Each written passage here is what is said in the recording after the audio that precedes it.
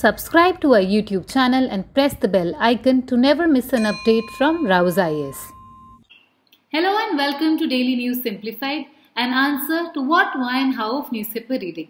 Today we'll be taking up the Delhi edition of the Hindu newspaper dated 15 June 2021. Now the articles to be discussed are reflected on the screen and the time stamping has been provided in the description box below. So now let's begin. So now beginning with the first article of the day. Now this article appears on the page number 9 of the Hindu newspaper and it has been titled as China, India, Pakistan expanding nuclear arsenal. Now this article has been based on a recent report that has been released by SIPRI. And the report states that there has been an increase in the number of nuclear warheads globally. And this is in turn reversing the earlier trend wherein all the nuclear powers were trying to reduce their nuclear possessions. And hence, in this article, we shall discuss about this report by SIPRI, the latest data with respect to nuclear arsenals across the world, and finally, we'll take up a question and summarize this article via means of a mains question discussion. So now let's begin. Now, SIPRI, that stands for Stockholm International Peace Research Institute, is basically an international institute that undertakes regular research and brings out data with respect to armament, disarmament, and international security. And for the year 2021, it has recently released its Yearbook 2021. And with respect to context of this book, this article has been presented. Now this book presents data with respect to the nuclear stockpile that is held by the nine nuclear armed states that is US, Russia, UK, France, China, India, Pakistan, Israel and North Korea. Now on basis of cursory reading we can see that there has been an overall decline in the number of nuclear weapons between the year 2020 and 2021. Clearly the stockpile was approximately 13,400 which has dropped this year to 13,080. And hence, while there has been an overall decline with respect to nuclear warheads, the devil lies in the details. Now, let us look a bit deeper. Now, with respect to US and Russia, that account for 90% of the global nuclear stockpile, have seen a decrease with respect to nuclear weapons since the post Cold War age, wherein both these nations have been trying to reduce their nuclear weapons. And hence, even in the and hence even in the present year there has been a decline. While US held 5800 nuclear weapons in 2020, this has been reduced to 5550 in 2021. Similarly, with respect to Russia, the stockpile was approximately 6,375, which has reduced to 6,255. And hence, in both these cases, the nuclear stockpile has reduced. However, this does not present a true picture because the true picture is little different and as has been highlighted in this article, there has been an increase in the operations of the arms that have been held by these two nations. In simpler terms, that can be understood that there has been an increase in the aggregate number of nuclear warheads that have been operational by these two nations as of 2021. So now this is the data with respect to Russia. As you can see, by the Feb of 2011, the operational nuclear weapons of 521 which have decreased to 485 by the year of March 2020. However, in the same year, mostly by the end of 2020, there has been a slight increase. Similarly, in case of US, in 2011, the stockpile was around 882. This reduced to 655 by the March of 2020.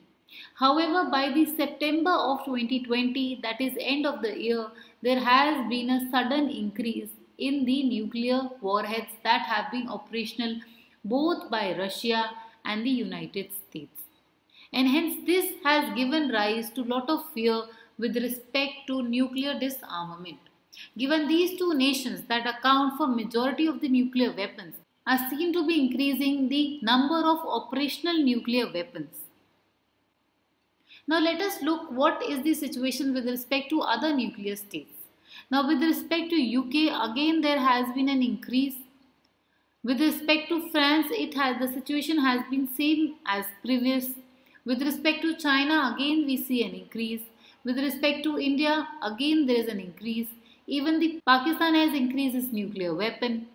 Israel has stayed constant and even with respect to North Korea there has been an increase in the nuclear weapon.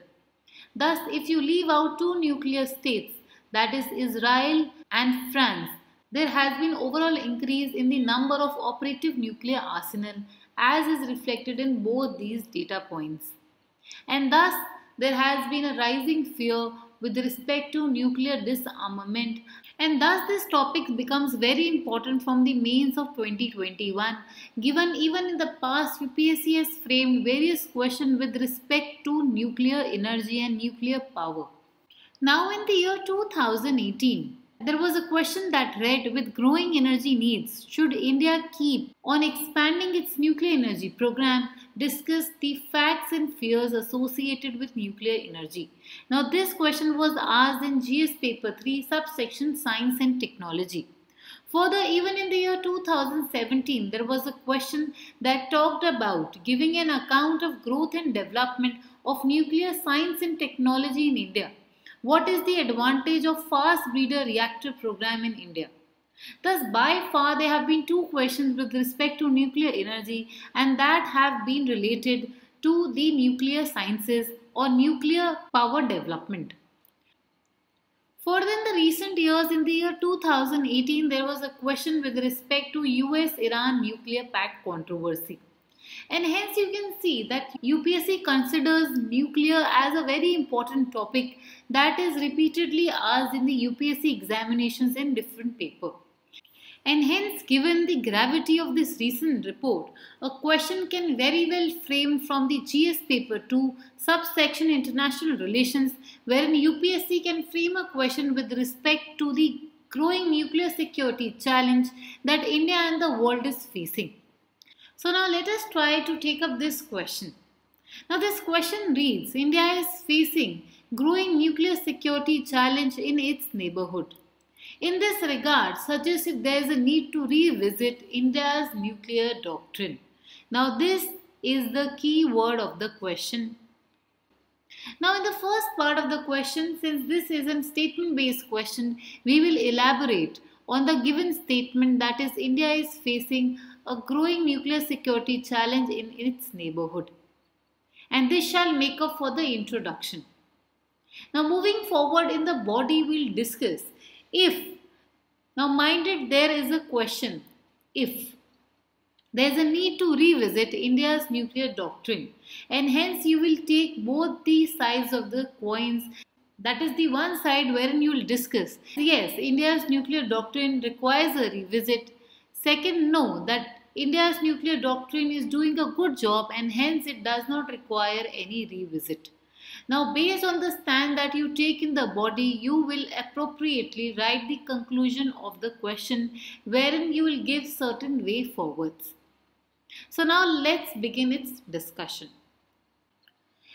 Now the answer to this question is very simple. In the introduction, we'll elaborate this statement wherein we'll suggest the report by the SIPRI that has been released in the year of 2021 wherein we'll discuss how there has been an increase in the nuclear weapons in India's neighborhood.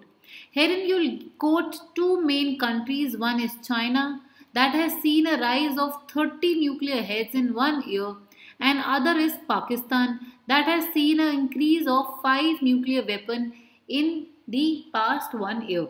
You will suggest that both Pakistan and China, from which India faces a direct threat to its security, have been augmenting their nuclear arsenal. According to the Stockholm International Peace and Research Institute, while India has developed only six more nuclear heads, China and Pakistan collectively have developed approximately 35 nuclear heads in matter of one year. And this is how you can present your introduction. Now moving on to the body part, let us see if there is a need to revisit India's nuclear doctrine. But before moving ahead, let us try to elaborate a bit about India's nuclear doctrine and what all does it constitute. But before discussing about India's nuclear doctrine, let us try to look into India's nuclear journey. So, in India's nuclear journey began in 1958 when the then Prime Minister Jawaharlal Nehru sanctioned for uranium enrichment. Now, as you all must know, uranium is the critical raw material that is used for the nuclear weapon or nuclear energy production. Now, moving ahead in 1962, after a brutal defeat by China in the 1962 war, India decided to seriously consider the option of nuclear weapon and hence by 1964 it started acquiring nuclear capability. And it was in 1974 when for the first time India tested its nuclear weapon in Pokhran, wherein the operation was named as Smiling Buddha. Now, Smiling Buddha, as the name suggests, was a test that was done to develop nuclear power for peaceful purpose. But as you can understand, this was not taken as well by the international community, and hence there was lot of opposition. And as a counter to this, global community developed nuclear supplier group that was aimed to prevent any further international nuclear proliferation. Further moving on in 1988, Government of India undertook another nuclear test in Pokhran that was known as Operation Shakti. Now after this test, India established itself as a nuclear power and it became the first nuclear power country without signing the Non-Proliferation Treaty. Now, NPT is basically a treaty on non proliferation of nuclear weapons. Now, this is an international treaty with the objective to limit the escalation of nuclear arm race and technologies that are related to nuclear power. Now, its main goal is to promote peaceful use of nuclear energy and achieve complete nuclear disarmament. However, India considers this treaty as biased and discriminatory for as per India government, this treaty is very unfair given it allows five states that were the victors of the World War II to continue to possess nuclear weapons while it condemns the other nations who did not have nuclear weapon back then to possess it now and hence it gives rise to a division of haves and haves not with respect to nuclear weapon which India despises and as a result of which India has not signed the NPT as of now. Now this NPT is important both from the point of view of UPSC prelims and mains given in the year 2020 it completed 50 years. Further in the year 2003 the government of India officially launched its nuclear doctrine and it provides for a policy of credible minimum deterrence alongside a policy of no first use such that India will never use nuclear weapons and will only use in an event of a nuclear attack. Next, it provides for massive retaliation. That is, a nuclear retaliation to a first strike by any other nation would be massive. And in this context, you must also know about India's second strike capability that India had developed recently that aims to fulfill this mandate. Next, India's nuclear doctrine provides for non-use of nuclear weapons against any non-nuclear weapon state.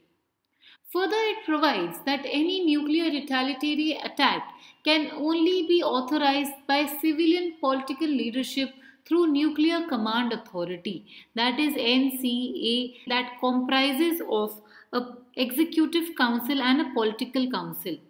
Now, the Executive Council, that is headed by the National Security Advisor, has a job of providing inputs for decision to be taken by the Nuclear Command Authority and to undertake or execute the instructions that is given to it by the Political Council. That is, the Executive Council provides data and undertakes execution with respect to decisions that is undertaken by the Political Council that is headed by the Prime Minister of India. And hence, the main decision making power is with the Political Council. The Executive Council, headed by NSA, only provides for support and execution purpose with respect to the commands of the political council. Now moving on to the next provision, it provides for strict control over nuclear and missile material. And as you all know, India has always promoted nuclear disarmament alongside nuclear non-proliferation. Now even after being a nuclear power, India is still sticking to the mandate of nuclear non-proliferation and hence it has committed itself to nuclear disarmament wherein it has committed itself to a goal of a nuclear weapon free world. So now that we have studied in detail India's nuclear history as well as India's nuclear doctrine, let us go back to the body of the answer. Now the body of the answer is asking us if there is a need to revisit India's nuclear doctrine. So if this is a 10 marker question, you would not have much space to actually elaborate upon India's nuclear doctrine given it is not a direct demand of the question. But had this been a 15 marker question, I would request you to add India's nuclear doctrine in a form of a diagram wherein you can make a hubs and a spoke model and discuss all the key provisions of India's nuclear doctrine. Further, you will move on to assess if this doctrine has been effective or if there is a need to revisit this doctrine. So now taking words directly from the question, we make two subheadings. First is the need to revisit and second no need to revisit. Herein we'll give analysis of a question wherein we'll give pointers with respect to both these cases. And in the conclusion we'll finally pick up one of these two alternatives and suggest the way forward. Now let us see if there is a need to revisit this doctrine. Now one of the most important reasons that is often quoted that calls for a revisit of India's nuclear doctrine so as to make it more effective is that India's nuclear doctrine as of now is mere declaratory and is not bound by any diplomatic arrangements with respect to its neighboring states given question talks about nuclear security challenge in its neighborhood. Thus, India has only made its nuclear doctrine declaratory and it has not made any diplomatic arrangement with respect to its neighboring nuclear states that is Pakistan and China.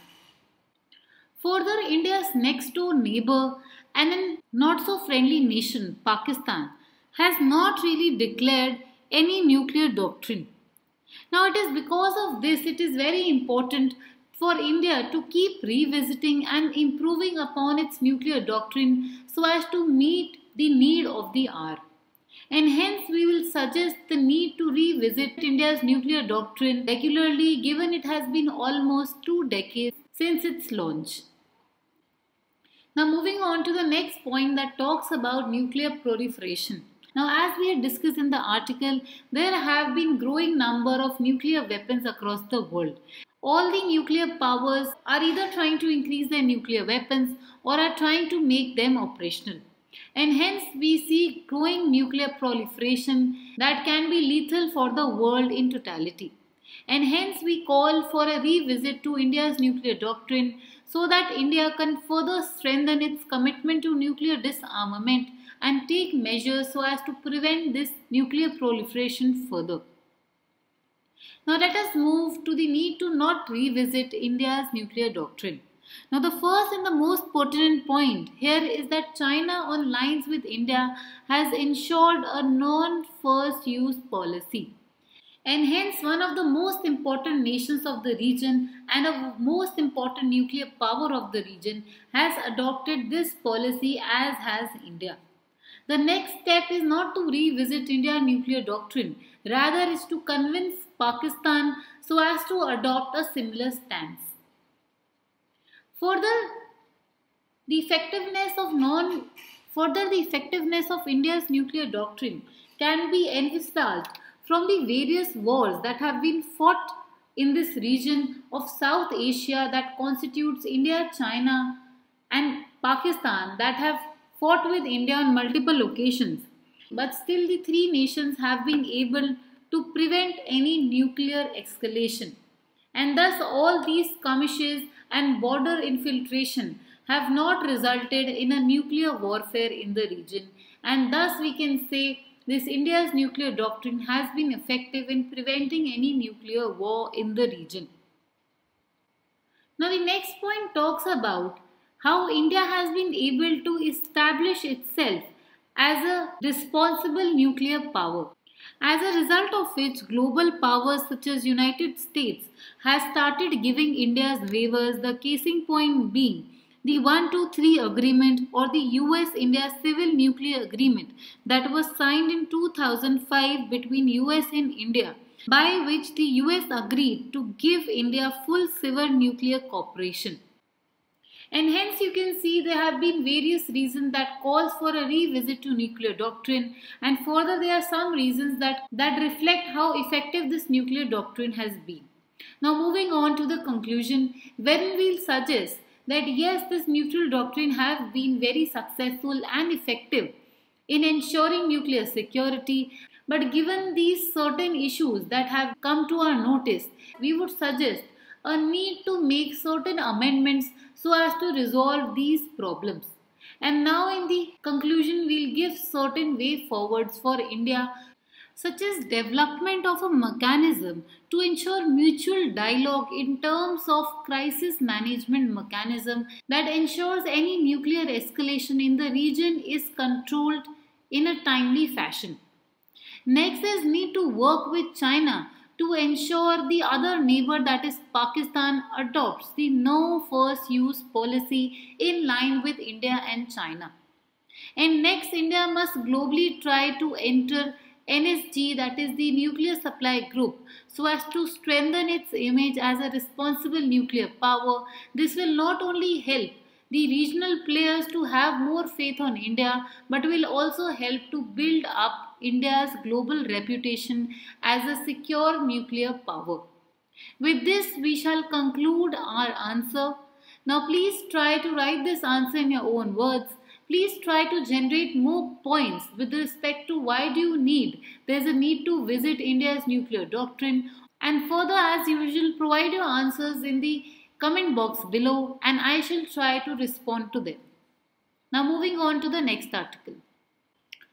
Now the next article appears on the page number 1 and the page number 6 of the Hindu newspaper and it is with respect to recent ongoing G7 summit. Now the G7 summit has recently concluded with a joint statement on open societies.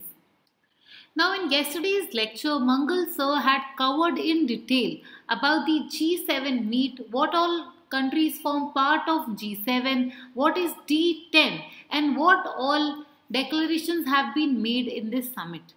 Now, in this lecture, we will look into a joint statement on open society that was given out in the concluding session of the 47 G7 summit and that was signed by G7 and four guest countries of which India was a part of.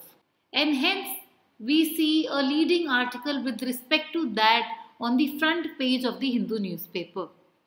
Now, open society, as the term is indicatory in itself, refers to a statement that reaffirmed and encouraged the value of freedom of expression and democracy.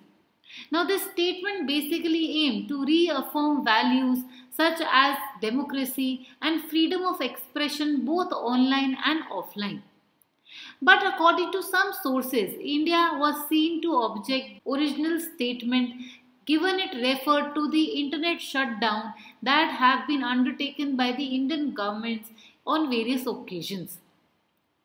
And hence it has been learned that the language of the statement was later amended to address India's concern. And this reflects the heavy weight that India is turning out to be, that it has the might to amend the statements that are made in the G7 summit that is the summit of all the leading economies of the world. Wherein India is merely a guest member, even then it had the weight to bring an amendment to this joint statement to which all these 7 plus 3 that is 10 major economies of the world agreed upon.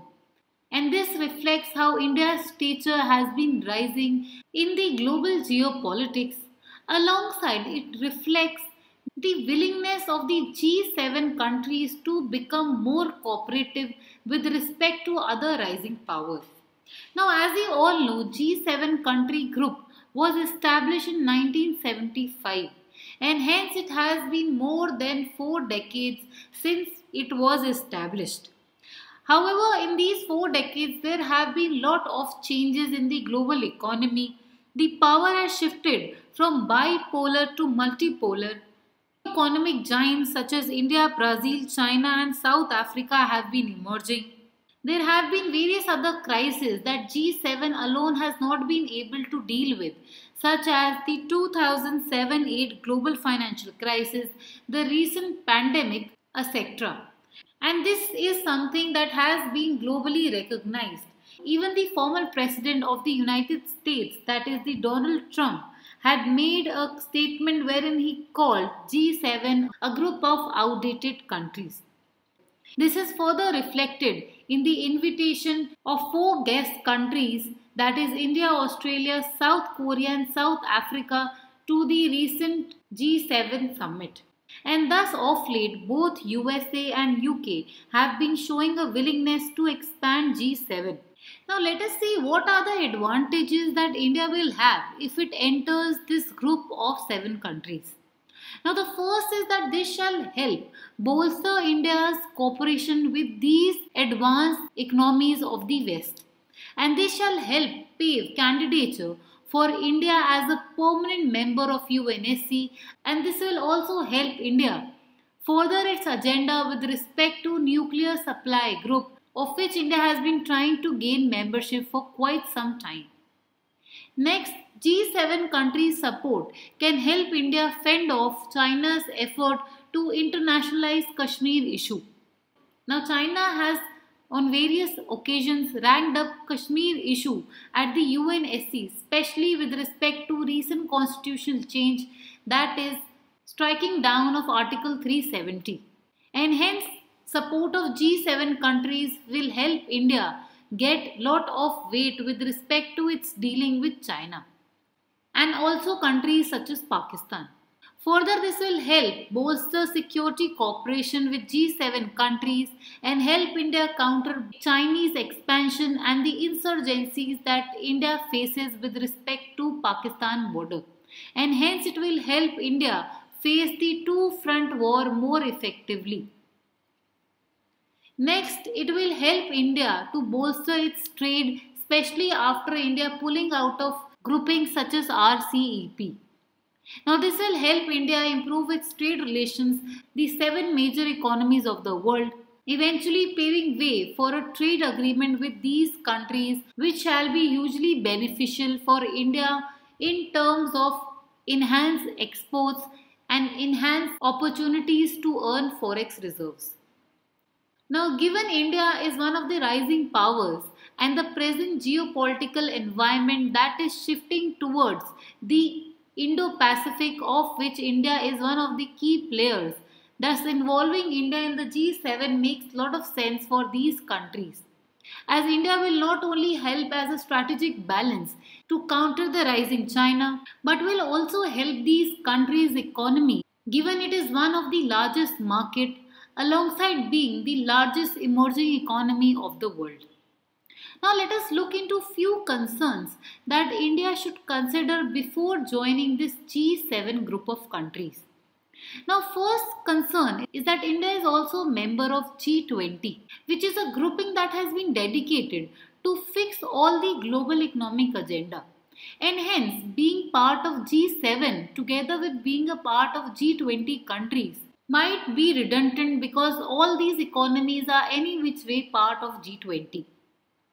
Next, the closer engagement with these Western powers might upset India's relationship with Russia and Iran as is obvious.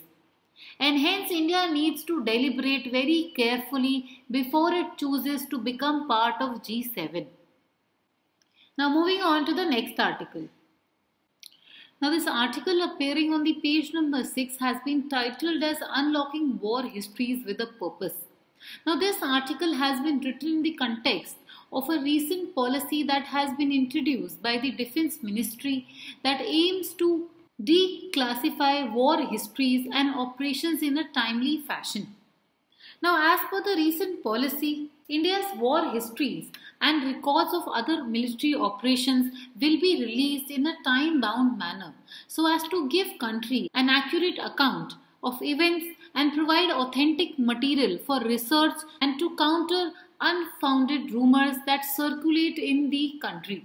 And hence, in this regard, the policy aims at archiving declassification and compilation of war and operation histories and has mandated setting up of a committee that shall be headed by a joint secretary in the defense ministry and shall consist of representatives of armed forces external affairs ministry home ministry and prominent military historian if required now the policy provides for a timeline with respect to creation of this committee within 2 years of completion of war or operations. Thereafter, this committee is mandated to collect records and compile them within 3 years. Thus clearly as you can understand this policy has been created for internal use of the government such that the government can learn from the mistakes of the past wars and rectify it and thus it aims to provide details about any war within 5 years time frame. Now the recommendation for such a declassification policy was requested as early as 1999 when the Kargil committee has called for such a policy. However, such policy has been introduced after more than two decades and as per this policy, each organizations of Ministry of Defense will transfer records to the History Division of the Ministry of Defense for proper upkeep of the histories. Now, the responsibility of the classification of records shall rest upon the respective organizations and shall be executed as per the rules under the Public Record Act 1993 and Public Record Rule 1997. Now, one major change in the policy is that the records should ordinarily be declassified within the 25 year mark. Now, earlier such classifications was made only after 25 years of the operation. But as you can see, as per the new policy, this will done bit sooner and there will be details available in the public domain. However, most of the aspect of this policy is for internal purpose and only very few aspect will be made public. Further, even under the new policy, the declassification is not absolute. For the decision on the cutoff period of 25 years would be taken on case on case basis. And thus, in totality, this policy is basically aimed to streamline the working of the history division and to ensure that certain aspects of the operations are declassified earlier than before such that it is helpful for the public to understand various issues of the country better. Now in this article there are certain operations that India has undertaken with respect to its various wars that are important from the point of view of prelims. Let's have a look at those. Now the first operation here is the Operation Brass Tack. Now this refers to the heavy mobilization of Indian troops along the Rajasthan border that led to crisis between India and Pakistan in 1986 and 87. Further is the lightning camp that is further is the lightning campaign that is with that is related to the liberation war of Bangladesh of 1971. Next is Operation Meghdoot that is an operation that has been code named for Indian Armed Forces Operation to seize control of the Siachen Glacier in Kashmir. And at last is the Falcon operation that talks about the conflict that developed in the Tawang region of Arunachal Pradesh and that led to a military push by the name of Operation Falcon. And at last is the Operation Pavan that has been code name that was assigned to the Indian Peacekeeping Force operation to control the Jaffna from the LTTE, that is Liberation Tiger of Tamil Eelam, during the Civil War in 1987 as a part of the Indo-Sri Lanka Accord. And hence you don't have to go into the detail of these operations. All you have to know which war or operation of which India was a part of. Now, Operation Pavan was with respect to Indo Sri Lanka Accord. Operation Falcon was with respect to issue in Tawang and thus was related to China. Operation Meghdoot was with respect to Pakistan, wherein India tried to gain control over the Siachen Glacier. Lightning campaign was with respect to Bangladesh Liberation War, and exercise Brass Track was with respect to mobilization along the Indian western border that India shares with Pakistan. And hence, you need to very briefly know these exercises only from the point of view of prelims, thus, do not go deep into them. Now, moving on to the next article. Now, taking up this last article for the day. Now, this article appears on the page number 10 of the Hindu newspaper and has been titled as National Commission for Protection of Child Rights warns portals on illegal adoption. Now, what we are seeing in the recent times that there have been lot of children that have lost their parents, and as a result of which they have been orphaned. And thus, in the recent times, there have been lot of posts with respect to these orphan children that are witnessed on social media. And thus, the National Commission for Protection of Children Right has written to various social media channels such as WhatsApp, Facebook, Twitter, and Telegram to report such illegal posts, that is, with respect to offering orphan children online for adoption. And further, it has also warned these websites that in case of failure, strict action would be taken against them. Now, a similar article of this kind appeared on the 10th June newspaper, wherein Faizan sir had undertaken the issue of orphan children in the recent times because of the COVID pandemic in detail.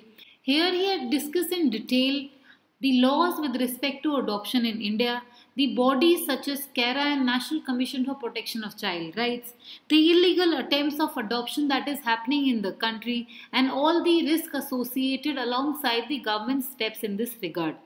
Hence, kindly refer to this article for holistic discussion with respect to adoption of children in India. Now, moving on to the question of the day. Now, in front of you is the answer for the yesterday's question of the day. Now, the answer here is D, creating an alternative to Belt and Road Initiative.